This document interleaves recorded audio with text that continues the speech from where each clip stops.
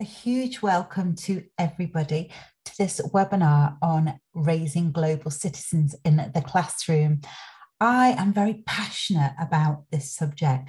I think it's very important, not only for our students, for them to gain in confidence and to help them in the future, but also because what they can contribute to the world when they know the value and the benefits of global citizenship.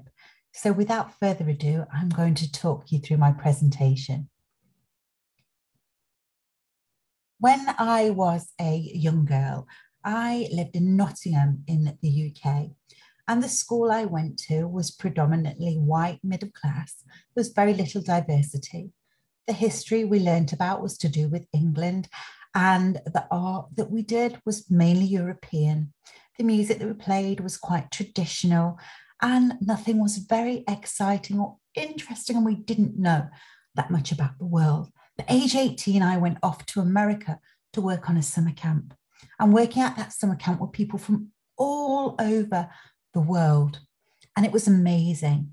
We worked with people with lots of different disabilities and different challenges.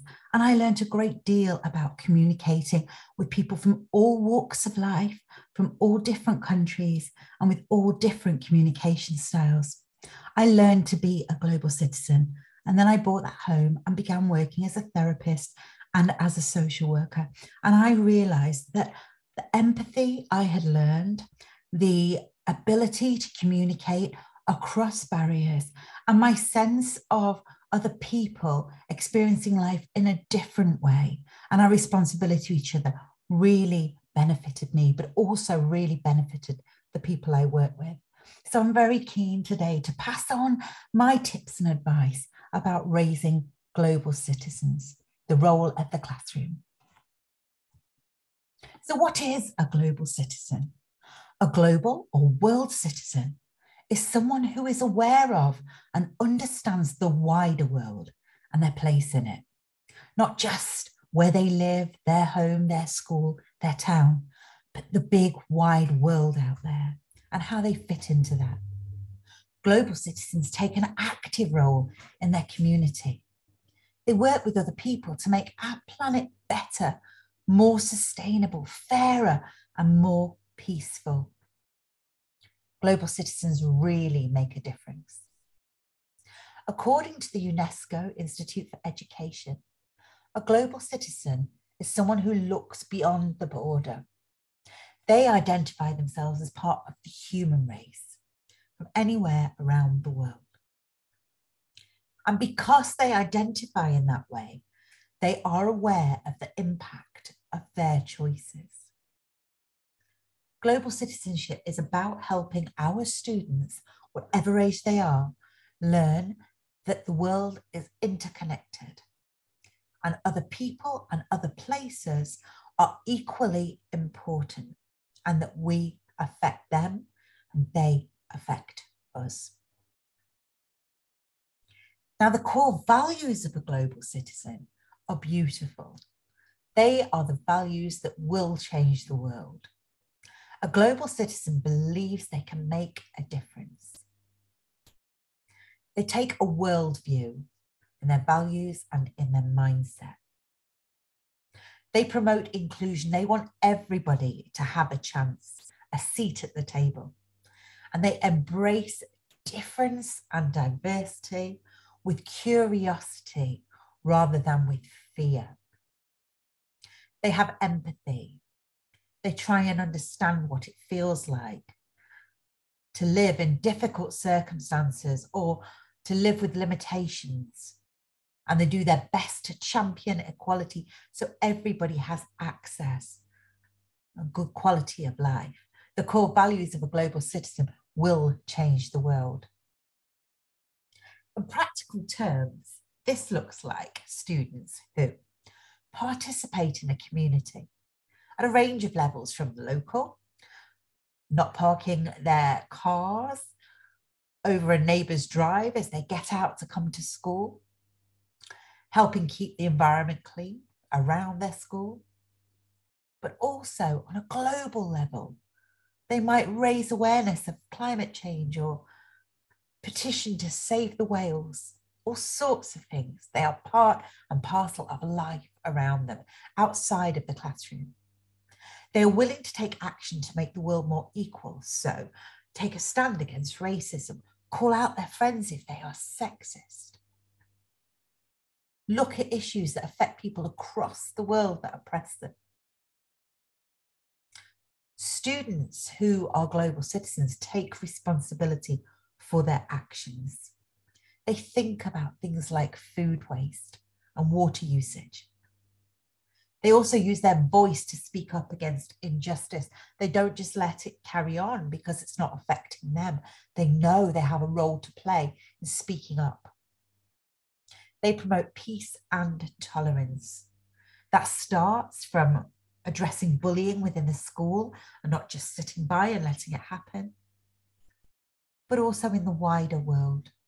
And they take action to better our planet in a myriad of ways. It might sound very serious stuff, but actually, all of these areas can be lots and lots of fun for kids. They can really enjoy being global citizens and making a difference. So, where and how do we teach it? Well, it doesn't need to be a subject on its own, a topic we address once in a while. No, it should weave through the curriculum, through everything we teach rather than be an add on or an afterthought. Through history, through music, through art, through science. Let's teach kids about the world and their place within it all the time. There are lots of benefits to global citizenship for our students themselves as well as the world. By being a global citizen, students will learn to accept and appreciate differences amongst the other children in their classroom and the wider world. This will take away fear and judgment, and in its place will bring comfort and enjoyment. They'll have better relationships with people because they understand people better. They're not just seeing how they live and thinking that's the only way to live. They understand and appreciate difference. But also because through teaching about the world, kids begin to see they have common bonds. The other children play and eat and have families and faith. And they realize we're more alike than we are different. When we realize we're more alike than we are different, there's a sense of belonging. Right now, I'm sat here in Nottingham and I know that you are across the world. We're all so different. It's even different times wherever we may be. But there is a common bond. We all want to raise kids who make a difference and who feel they have a part to play in the wider world. So we have a common bond, and that is very unifying, and that's what draws us together. So our differences are not a barrier. Kids who become global citizens see many different points of view, and this enables them to be kind rather than judgmental. It enables them to make adjustments so everyone feels okay because they can see many different points of view. And that helps them make better choices. When a child is a global citizen, they will grow to be able to live and work anywhere. They won't be afraid of the world. They'll be intrigued about the world. They will think it's interesting and fabulous. And there's people out there who have common bonds with them. It'll become exciting. They will grow in confidence. And when children are global citizens and understand the challenges that people face in the world, the challenges our planet is facing, they will want to make it better. They will want to contribute to a better world. So the benefits are enormous. We must teach this stuff and teach it with absolute enthusiasm. So, how do we teach it? Well, as always, when you teach anything, it has to start with you. So, as a teacher, you need to role model curiosity, interest, acceptance, tolerance, and just a fascination with the world. Really be enthusiastic about getting to know about other people and seeing their points of view and reaching out and helping them talking to them, communicating, be passionate about this. Always encourage empathy because kindness comes from empathy. When we understand what the people are experiencing and going through, we can be kinder, and that's so important. Directly teach the global goals. We'll come on to this shortly, but also teach world events, interconnectedness. Let kids know how we all weave together. Interweave global citizenship throughout the whole school and the classroom experience, not just in your teaching, but in the experience of being in your school. Promote diversity and inclusion, but don't just promote it, make sure it is actually happening. So all the children in your class can access everything, not only the clever children or the well behaved children, but all the children. And if there is a child in your class who has communication challenges, encourage the other children to learn how to communicate with that child so they're not left out. Promote diversity. Have children talk about their background and their culture, their family and their history, and be interested in each other's stories, and then make it wider. And provide enrichment opportunities through music, through art, through theatre, so children find out about the big, wide world. All activism begins with empathy. Or to put it more simply, all change, all good change starts with kindness. We need to understand other people's stories and where they're coming from in order to be able to reach in with kindness and support and help them.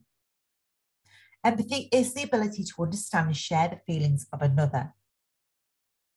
If we encourage diversity and inclusion, this comes more naturally because children listen to each other's stories and understand each other's issues and challenges. If they live in a bubble where there's very little diversity and there's no inclusion, they do not understand what it's like to be different to the majority. Empathy really matters. So always ask your students to consider hey, how do you think that felt for someone? If one child in your class spoils the work of another child, say to them, rather than that's really naughty, off you go into timeout or whatever. How do you think that felt for them? And to imagine how their behavior has impacted someone or what's going on for someone else. Stories, films, drama are great for prompting such questions. And you can role play scenarios, then ask the whole class, what do you think they were feeling? Empathy is really key to global citizenship. Encourage your students to see that global citizens listen and learn from each other. They don't already know, they're not full of information about every single culture in the world, every single way of communicating. Of course not. It isn't possible. We learn by listening and being open to each other. Encourage your students to share their stories of their own culture. Now, your class may look like it's full of children, all from similar backgrounds, but it won't be. Those children will have rich family histories and rich cultural histories that are slightly different to each other and fascinating. Get them to share those, be proud of where they come from and open to learning about each other and share yours too. They will be amazed. My family, despite the fact I'm an academic, were fairground people.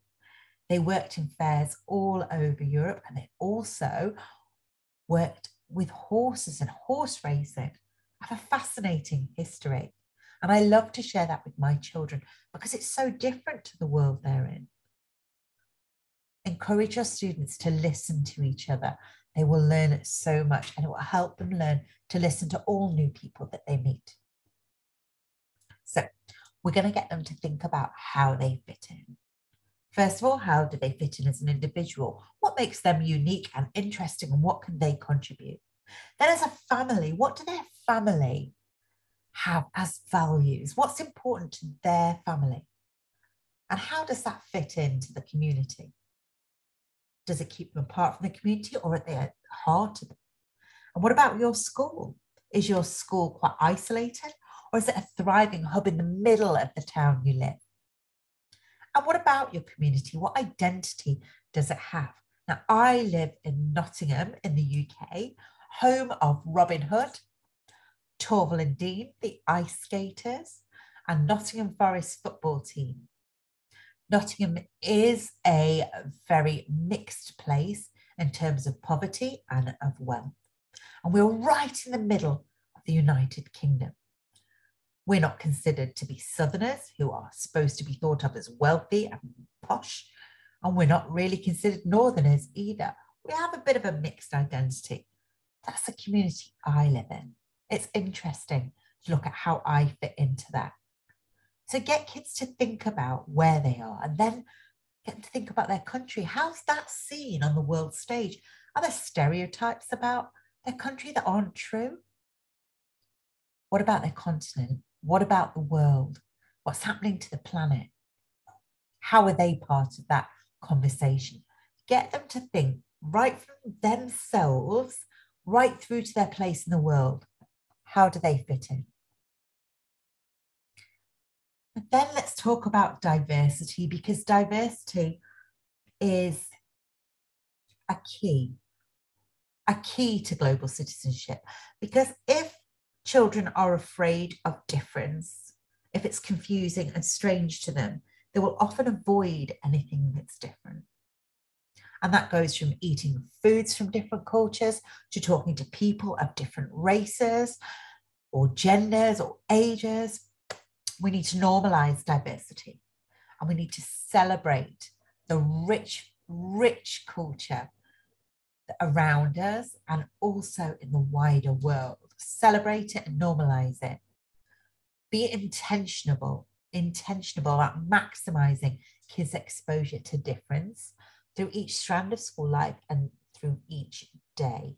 Again, not just an add on subject, but something that you embrace all the time in every area. Normalize it. Now, many kids think that in order to find out about other cultures, they need to travel to other places. And of course, travel can really be very perspective shifting. It can open your mind to new things. But travel is a luxury and it can present a very narrow view of somewhere. I know here in the UK, we think if we go to the Caribbean, for example, it'll be a luxury holiday, the sun will shine and the beaches are beautiful. And that's about all we see of the Caribbean, which of course is a much more complex and multi layered place than that. But if we go for a resort based holiday, that's what we see. So travel isn't always as eye opening as you think it's going to be. And you don't need money to travel. You don't need to get on a plane to travel. The kids in your class can see the world through the experiences you provide for them. So it could be via video links, doing a tour of a country. It could be through library story time. It could be through attending a cultural festival going to a different faith church. It could be through a cookery session, a music session. There are so many things you can do. Kids can see the big wide world without leaving your classroom. So bring diversity into play. Pack a diverse toy cupboard with dolls from all different cultures, board games from all different cultures, outdoor play equipment from all different cultures, learn games from across the world and introduce them with a description of the country they come from. Emphasize that kids play across the world with building and with sport and with art materials, just like they're doing too. And then show them how these are slightly different to what they might play with and fascinating and interesting. Emphasize sameness show them difference. It will make them feel interconnected and curious and excited about the big wide world. Bring this into physical education too. My family sponsor a young boy who lives in Hebron, and he writes to us about the games he plays, and they are surprisingly similar to the games my children played here in the UK when they were his age. And that makes my kids feel closer to him. They may not understand his culture or the situation he's living in, but they do understand that just like them, he's a child who loves to play. Art and music are wonderful, wonderful opportunities to bring diversity into your classroom. Art is not just copying. Good music does not have to be popular. Expand your students' comfort zone and start this when they're young. Make out of the ordinary every day. Let me tell you about some art and music I enjoy and that I've introduced my children to over the past year. So, hapazome. Hapazome is an art tradition from Japan. What you do is you take a flower and you place it on a piece of fabric with the head of the flower facing down. You put another piece of fabric on top and then you bash, bash, bash, bash with a mallet or a hammer on top of the flower. The flower imprints on the fabric. When you take the top piece of fabric off, the flower will appear on the fabric below. You place some greaseproof paper on top and iron it. And there it is. You have stamped on the fabric. It's beautiful. It's great fun. Steel drums from Trinidad are also extremely exciting. We went as a family to see a band play on dustbins, and that was just amazing and helped my kids see that even if there isn't money for musical instruments, people across the world still want to make music. They will use what they've got at hand. They are resourceful and they love music too. Different, but the same.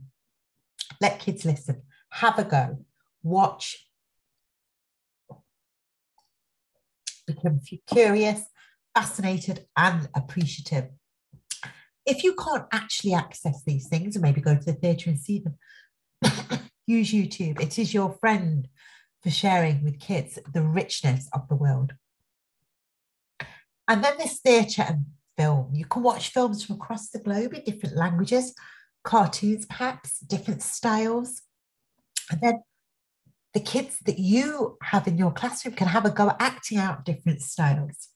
We have a particular theatre style here in the United Kingdom called pantomime, which is just on at Christmas time in the theatres.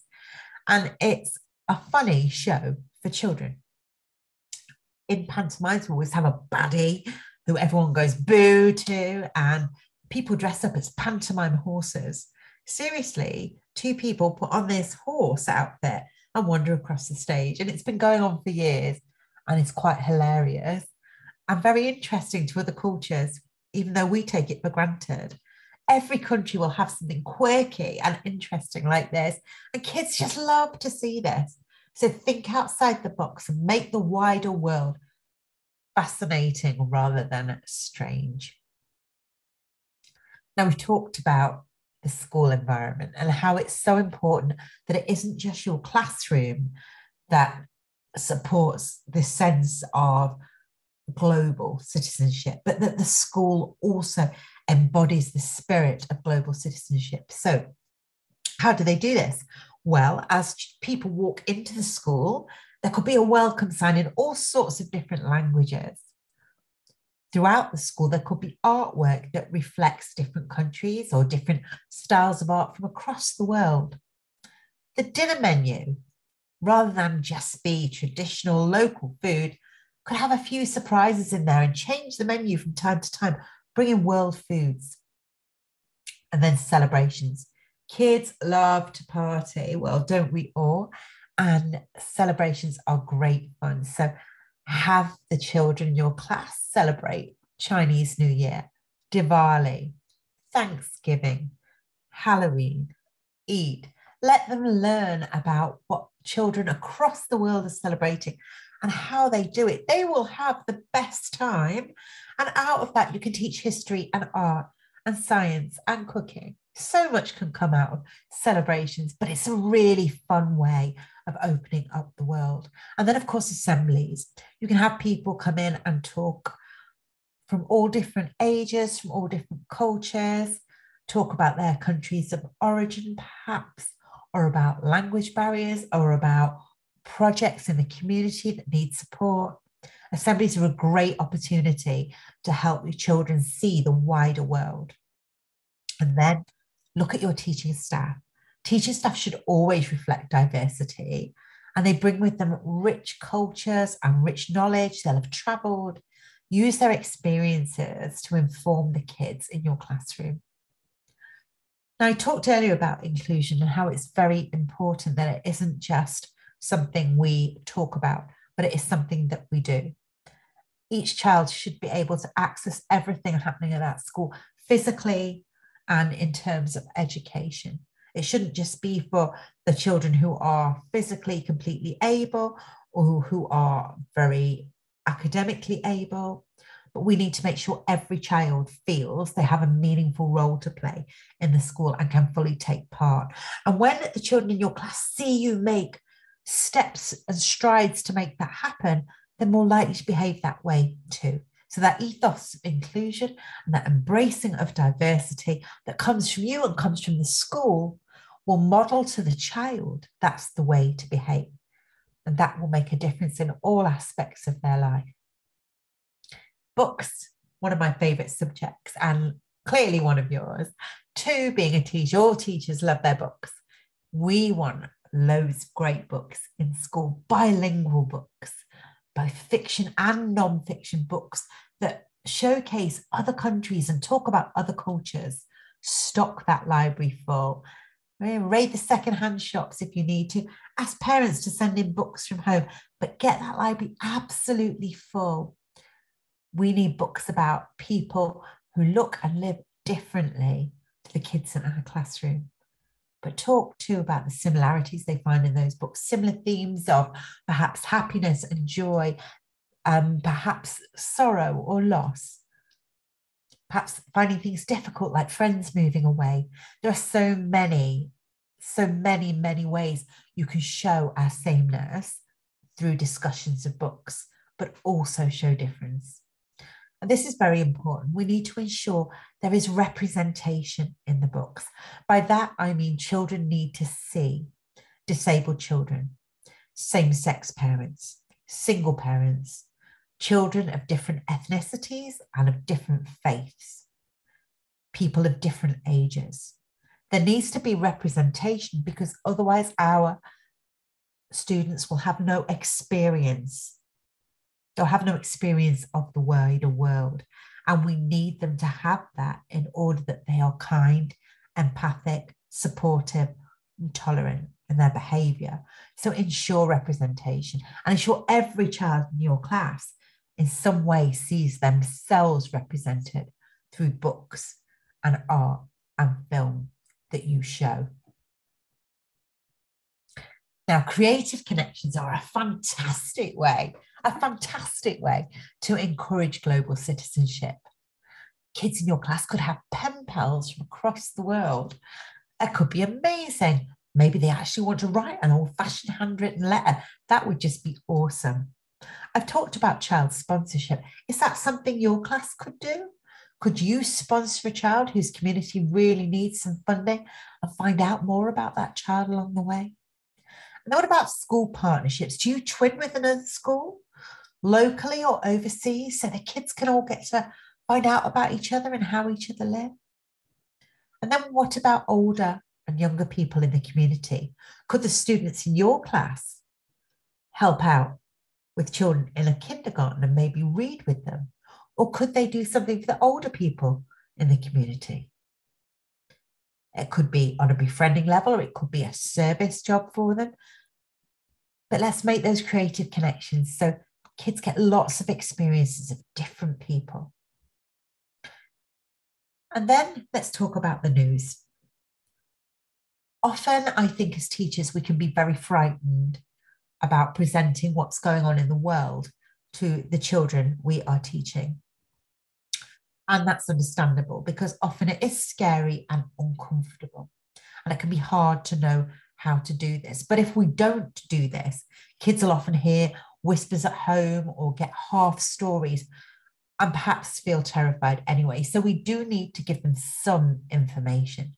Now, balance is important. We need to let them know there are happy things going on across the world. There are amazing things going on across the world, scientific discoveries, brilliant projects to improve people's lives going on across the world. It doesn't all have to be like war and famine. And when it comes to the tough stuff, my advice would be turn to the experts because it can take a lot of thought and sensitivity to know how to package up the news to present it in a way children will understand. But here in the UK, we have The Week Junior, an excellent magazine that does just that. We also have a TV show called Newsround for children that shares news in a way children can digest it so it's not too scary and it is independent. So if you have those things in your country, I would suggest you turn to them rather than you spending so much time figuring out how to share stuff. Direct young people's views. A lot of them will be using social media. So direct them towards websites that are independent and child focused in the way they present their information rather than them just being terrified of what they read. Do encourage questions and curiosity, but also accept that sometimes you will not have the answer. Just like their parents won't have the answer, just like the politicians don't have the answer. But for some kids who've perhaps heard things at home that they don't understand, school might feel a very safe place to ask. So be there for the kids and find the right resources. Communication. Communication is a real block to people getting to know each other if we let it be. However, if we explore communication and we encourage confidence and a willingness to learn and try in regard to communication, it breaks down those barriers. Kids need creativity and patience when it comes to communicating with other people. Maybe you have them learn some sign language so they can communicate with people from the deaf community. Perhaps you teach them visual symbols, which will apply across the world, but may also help them communicate with people with a learning disability. Introduce them to other languages so they understand how very exciting it can be to talk in a different language and they're willing to have a go, at the very least, be able to say hello and how are you. Help kids discover the confidence to talk to people of a different age, to people with disabilities, to people in various roles and of different cultures by giving them the chance to do so. This breaks down barriers. And it's key to being a global citizen. I think it's really great to get kids involved in their local community. It gets them out of the classroom, it teaches them loads and loads of skills, and it helps them see the world is big and wide and they can help make it better. So, what issues do your local community have? Can you identify need and can you see what can help? When my daughter was at primary school, she was at a school near a canal that was just absolutely filled with rubbish, unfortunately. And the school would do a regular monthly litter pick around that canal. They also raised funds to have more rubbish bins put along the canal so people didn't litter so much and they made some signs. So they fundraised, they identified a need, they did some practical work. They also invested in litter picking sticks that they made available to other volunteers. So it was sustainable. The project would last beyond the kids doing the litter pick because there were new bins and litter pick sticks. It was empowering for the kids because they had to make the money, they had to decide what to spend the money on, and then they actually went out and took action. Fantastic. For older students, a project they could perhaps get involved in would be a garden makeover for their local area. They'd need to be sensitive to the environment and make sure whatever they did fit in. They would have to take on board local wishes, maybe ask some questions. Think about the impact on the environment. Would this be good for the insects in the area? How sustainable is the project? Will the plants they are planting come back each year? Could they involve local volunteers to keep those flowers watered? What plants might they use? And how are they going to fundraise for the project? So many skills involved that later on in life will be really useful, really useful, and will help them become a global citizen. Younger children might want to build a library in a local children's home. They might need to consider what books are already there, how to bring diversity into those bookshelves, how to raise money, how to make it sustainable. Could they share contacts perhaps with that school? Maybe where they get their books from, they could ask if they could maybe contribute to. How are they going to be eco aware? Perhaps secondhand books are the way to go. What about sustainability? Do they need to cover those books with plastic to make sure they don't get ruined? Thinking through sustainability, ecology, sensitivity the environment, needs and wants are absolutely vital to being a good global citizen. So, projects in the local community, they are winners. We affect each other more than we know. And kids don't always think about things beyond themselves and their immediate needs or the needs of perhaps their best friend or their mum and dad.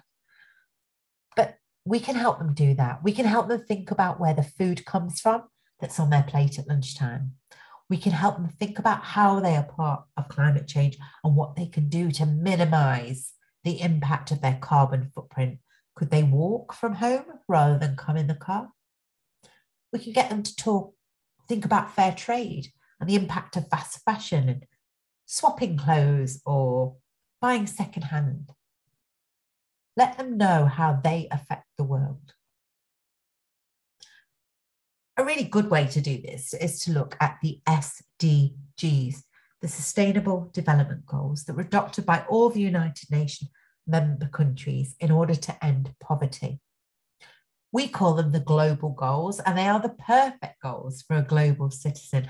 They are a call to action and a brilliant way to encourage young people to think about what they can do, not what they can't, but what they can do about poverty, about issues to do with water and sanitation, about peace building and equality. The SDGs, the global goals, show what it means to be a global citizen, working together to impact the wider world. They're a great way to structure your lessons. So have a think how could your class work towards them? Could you pick one or two each term maybe to consider? Could they be topic starters or maybe a display in your classroom? The SDGs can really guide us and follow through.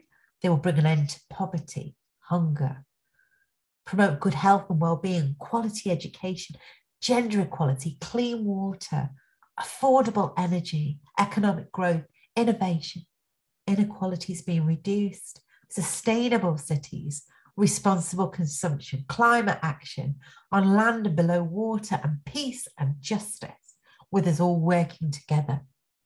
These are the goals we want the young people that we are teaching to take on board and we can start this process. We can get them thinking about these things so when they grow up and go out into the world of work and decision making they make good on these goals. Put this up in your classroom. Keep these goals as your focus when raising these world citizens Global citizenship is the idea that everybody, no matter where they live, is part of a worldwide community. And your job as a teacher is to encourage your students to understand this and to help them take, take on that role positively, totally respecting and enjoying being part of the big, wide world. Just want to leave these thoughts with you. I want you to imagine how beautiful our world would be where children become adults who protect and nurture our planet. Imagine a world full of adults who are culturally aware and inclusive, so nobody gets left out or left behind. Where there are adults who understand the importance of communicating across divides and take action for peace justice, and equality worldwide. Imagine a world where children become adults who are always kind and understanding, no matter how different they are to each other. They seek to raise each other up. You don't have to imagine this because this is the world you are creating and that you, as a teacher, are shaping when you teach global citizenship. For a better world. Now, I know you went into teaching because you wanted to be important in the life of a child. And the future is with our children. So, by teaching children about the big wide world and their positive role in it and their ability to contribute to it, you are going to change the world. So, how important are you? You're amazing. You are a teacher. And the rest of us can only thank you for what you're doing in raising these global citizens. So, my name is Becky. It's been an absolute pleasure to talk to you today. And if you have any questions, I'd love to hear them. Thank you so much, Becky. That was amazing. We've had so many incredible stories that people have shared in the chat box. But before we move on to the Q&A section, I just want to run through a few more things in case you missed them at the beginning. So we will be sending everyone who's attended today the webinar recording, as well as the attendance certificates that you can refer back to it, share it with your colleagues, um, and my my colleague will now paste the link for the attendance certificate into the chat box you can download it directly here. If you have any further questions, please do contact us at collins.internationalhub.collins.co.uk. And I think that's it. So let's move on to a few of the questions that have come through. Um, someone has said that a lot of the things that you mentioned in terms of attributes and what makes a global citizen are really related to the IB learner profile. And I think the question that I'd just like to pull out from that is how would you recommend you know, um, structuring uh, lessons or things around those attributes, but when it's directly linked to a course, um, and there's like a specific part of uh, either, for example, global perspectives or IB, where that's a, a requirement, and students have to kind of prove that they are those things, they are a global citizen. I think I think the key thing always as students is to make it fun and interesting and to help them help them choose how they want to do that. So ask them what they think how they think they can best show this what ideas do they have? Because we want them to be lifelong learners and we want them to be enthusiastic learners. So if they need to evidence that they have these attributes how do they think they can do it? What could we help them with in terms of projects in order to showcase that? I always think start where the child is, is at. That's really really powerful. Thank you. Um, lots of people just saying how much they've enjoyed it and how motivational it's been. In terms then of motivation say for example there are children in the class who are really motivated to and you know really on board with everything that's going on in terms of being global citizen but there are some children who may be less keen. Um, how would you recommend kind of bringing everyone up to that same level of engagement and passion it can always be the case, can't it, that you have some kids in class whose hands are going up, so excited, so enthusiastic, and want to join in, and children who are more reticent. I think trying to tap in to what they're interested in, what gets them excited, you know, perhaps having a word with them about what do you do for a hobby? What are your interests? And that child perhaps tells you they dance, then bring in dancing from around the world, you know, meet them where they're at rather than be frustrated with them not meeting you you know so get get into what they're keen on you know. It also might be the case and sadly it is true that some children's home life doesn't promote this idea of global citizenship you know and that maybe they find it a little bit confusing if they've not been encouraged to embrace diversity at home that at school you are championing this. So for some kids, it may take a while, but I think if you bring it into every day, you make it fun and exciting, you meet them where they're at and tap into their interests, you will bring them on board. But sometimes you do have those other influences on them too, and it can take them a while to be so excited and enthusiastic about this. Mm, that's a really good point, I think. And in terms of if there is a uh, a difference of opinion, I would say, in kind of creating global citizens. I mean, I think everyone who is on this webinar from the chat box and from some of the responses we have so far is very much, you know, part of this and they really believe in it. But how do you potentially navigate situations like you've described where uh, a home life uh, isn't quite as on board? You know, what would you recommend doing in those scenarios? Okay, well, there's a couple of ways this can be done. I like the idea that when children start a school, that the school puts on a assembly or a presentation about the school ethos and they make it extremely clear that the school is anti-racist and they are absolutely pro-inclusion and that they do have this global perspective and they want to encourage world citizenship so they set their stall out that we are going to teach this and we want everyone to be on board with this. At my daughter's school, they have a charter that every child and family sign before they start that school, saying that they won't act in a way that oppresses or excludes other people, that they will embrace diversity and be kind and tolerant towards each other. And they actually have to sign this before starting school. And I think that sets a mindset straight away you know, that this is what this school is about and this is where we are going to take these young people.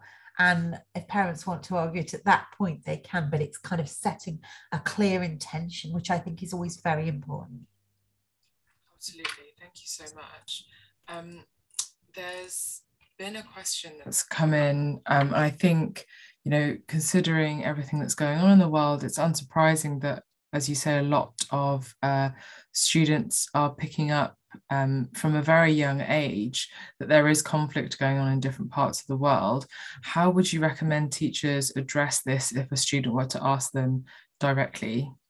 Yeah, I think it needs to be factual. I think it needs to be bite sized. Often, when children ask a question, they don't need a massive answer. They don't need a complex or political answer just straightforward facts. Yes, there is a war there, or yes, there is poverty in that country. You know, I think it's important children always hear hope that there are talks going, people are trying to work this out. You know, they always need to have that hope. But I, I think if there are, as I said, magazines or news programs that deal with these issues, they will have been expertly organized to present this information in a way that is very child centered. So turn to them if you need to. But I wouldn't just fudge it. I think a lot of times kids are left to worry and imagine, and that can be far, far worse some basic facts. But don't feel you have to tell them too much. Give your personal perspective on things or talk too much. I would also say if a child is asking you, you do give them some information, let the family know that you have shared this information because it was asked of you. Absolutely. And someone has just um, said in the chat box, global citizen much depends on the values set at home and by the schools. Mainly schools can do a lot to help people become global citizens, but for a school to aim at it, first politicians and education authorities must change their mentality. From this, this perspective, we can say that it certainly takes up a lot of time. That's such an interesting point. Thank you so much for raising it in the chat with us. Becky, do you have any thoughts on that? I do. I I do think it can take a lot of time. Obviously, the things that we teach when we're so pressured to teach a national curriculum that perhaps isn't all embracing in regard to global citizenship, it can feel very stagnated. But I think you can bring it in. I think when you teach history, you can teach different perspectives, at least a little. If you teach art, you can teach different styles from around the world. You can weave this in, even in a small way, to most things that you do. And it doesn't have to be massively consuming. And sometimes we are limited and we are impacted by political and educational roles, by home life, but we have a massive massive impact on the kids we teach. They hear our voices every day. They probably spend more time with us than they do their parents. So our enthusiasm, our passion for global citizenship will affect them. That's such a good point. You know, enthusiasm and passion really does make up a lot of what we do, and in terms of why I enjoy what I do and why you're so passionate about what you do as well. But I think sometimes, you know, especially when um, students are coming to teachers with uh, difficult situations they want answers and and as you say giving them facts can help but quite often i don't know as as an adult i find it really difficult to know even where i stand on those things and so in those situations where potentially we're not feeling the most motivated as the adult in the room what would you say to kind of help put things into perspective and maybe take that pressure off teachers a little bit yeah. i'd say talk to each other you've got each other you're you're you're each other's best resource, you know. And there might be somebody in your staff room who says, Oh, this is how I dealt with that. So when you don't know something, don't feel that's a failure on your part. See it as an opportunity to use your connections and ask other people, How would you address that? It's always okay to say to a child, I'm going to think about this and come back to you. Always, you know, be in facebook groups with other teachers have have good connections in the school if you have run out of ideas and optimism somebody else won't won't have and they might just spark a great response in you. So you can always ask for some time and then go and get some support yourself that's so important. I think even you know, as um, someone in a professional context, it can often be really refreshing when people will say, "Actually, uh, I need a bit more time on this. Can can I, you know, can I get back to you?" And they'll give you a rough time frame. And I think if we were to kind of instill that within our children from an early age, then it could really change the way that we deal with pressurizing situations and anxiety around delivering workload and things like that. So that's so so good to hear. Um, I think we've probably got time for one more question if anyone wants to jump in. But before that, Becky, I just wanted to give you maybe a couple of minutes. If there's one thing that you really, really would like everyone on this webinar to take away, then please, absolutely, the floor is yours. Go for it. I think the most important thing you can do for yourself right now is acknowledge what you've been through as teachers over the last couple of years. It has been so challenging. You've had to adapt, you've had to teach virtually, you've had to deal with your own health and financial issues, and that people around you while staying a positive force for the young people that you're teaching. You've truly had to be a global citizen, navigating different ways of communicating. So give yourself a massive pat on the back. You know, you are asked to do so much. You are constantly asked to be a great resource, to be inspiring, to be motivating, to introduce these SDGs to kids and to be everything, you know. But you are people too. So take great care of yourself. Turn to each other for support. Speak up if you're struggling and give yourself time when you need to. But most importantly, nurture yourself. And remember, you are amazing and you do an amazing job. And you are appreciated. That's so lovely. That's such a good note to end on. I don't think there's any more questions. And I just want to say thank you, Becky, so much again. It's always such a pleasure to speak to you. And I always leave these webinars feeling so refreshed and motivated. And it seems like everyone who attended does as well. As I said, we'll be sending you the certificate of attendance and the webinar recording in a follow up email very, very shortly. So please do share with any colleagues who might not have been able to attend. And in the meantime, have a lovely rest of the week and take care wherever you are in the world. Thank you so much.